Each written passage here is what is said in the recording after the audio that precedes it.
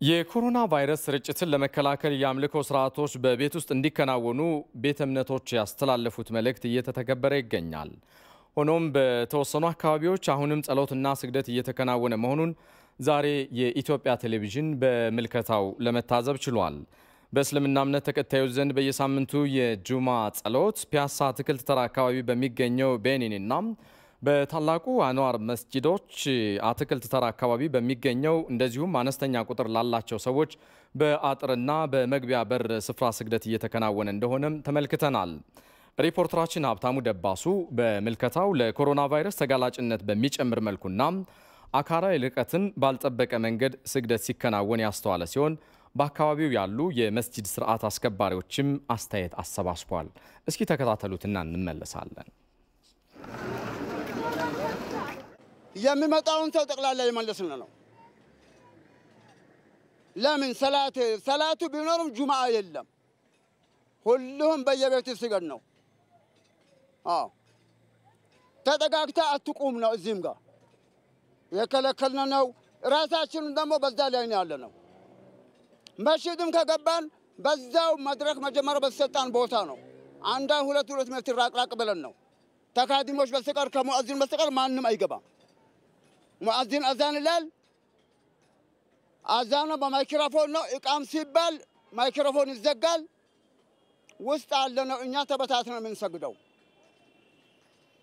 ውጭም ያለው ሰው በዚህ አይነት ነው ያለው። ምንም አልተረዳሁም ማለት የእኛ ሰው ችለተኛ ነው እንደምታየው። ዝም ብለን እኔም ራሴ አላረኩም፣ ሌላውም እንደዛ ነው። ግን እኛ አካባቢ መርካቶ ያየ እንደሆነ ተቃቅፎ ነው የሚውለው። እንደዚህ እንደ በቃ ምንም በሽታ እንደሌለ ነው የሚለው። ስትነግረው ምክርህን አይሰማም፣ ሀሳብን አይቀበልም። ችግሩ እዛ ላይ ነው። አሁን ሻይ ቤት ምናምን መስቀል የለም። አሁን እንደምታየው ተፈቃቅፎ እንደዛ የምታየው በዚህ ብትወጣ ትንሽ ቆይተህ ብትሄድ ተፋፋፎ ጫት ሲቅም ነው የምታየው።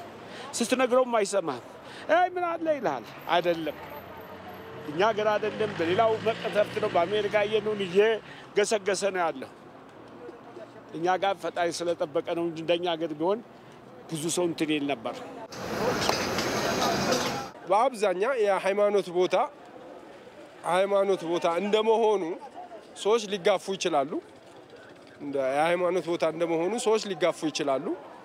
ይሄን ደግሞ እነሱ ማሰብ መቻል ያለባቸው እንደውም ቀድሞ ከህብረተሰቡ የሚሰሙት በሚዲያ በተለያየ ነገር የሚነገረውን ሰዎች ደግሞ የግድ ሃይማኖት ነው ብሎ መገፋፋትም እንደሌለባቸው በየቤቱ ስገድ ሲባል ማንም ሰው ሃይማኖቱን የማይወድ ሰው ማንም የለም።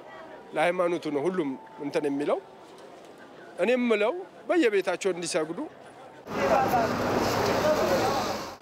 ሰው እየሰገደ ነው። አንዳንድ ሰው ነው የሚሰግደው። እሱንም ያው ተራርቆ እንደሚሰግድ እኛ እያደረግን ነው። እዛ እዛ ጋር ያለን የተደራጆች የተደራጀን ልጆች አሉ። ያው ትንሽ አሁን ሰሞኑ ይሻላል ከበፊቱ ቢያንስ እዛ ጋር ተጣብቆ የሚሰግደውን ሰው ራቅ ራቅ በሉ የሆነ አንዳንድ ነገርም ገብተዋል። ትምህርት እየሰጠን ነው። መጠንቀቅ አለብን። አሁን መጠንቀቅ አለብን። ጸሎት በየቤታችን ማድረግ ይቻላል። አሁን ሮመዳን እየመጣ ነው እና መጠንቀቁ ለእኛ ነው የሚጠቅመው፣ ለሌላውም ይጠቅማል። ማስተ ትምህርቱን መቀበል ግዴታ ነው።